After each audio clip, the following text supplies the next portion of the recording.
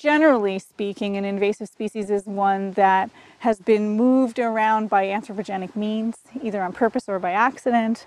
And generally speaking, they are moved across distances that they wouldn't naturally be able to do.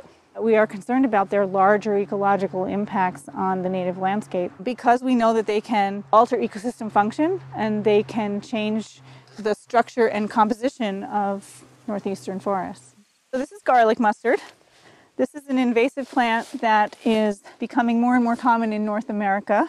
So this little forest herbaceous plant is doing some major ecological damage below ground. This species exudes phytochemicals known as glucosinolates and flavonoids that are toxic to soil fungi. One of the important groups is the mycorrhizal fungi.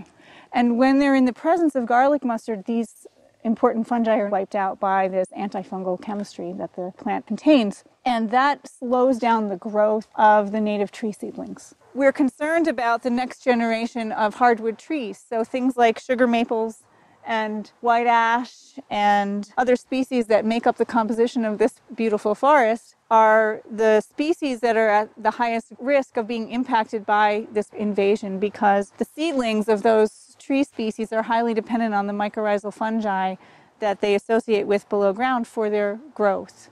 Even this little herbaceous plant that um, invades the forest understory has long-term consequences for not only the structure of the community but for the way that whole entire ecosystem functions by disrupting these key interactions between organisms in the soil, plant roots, plants, and ultimately the structure of the forest canopy.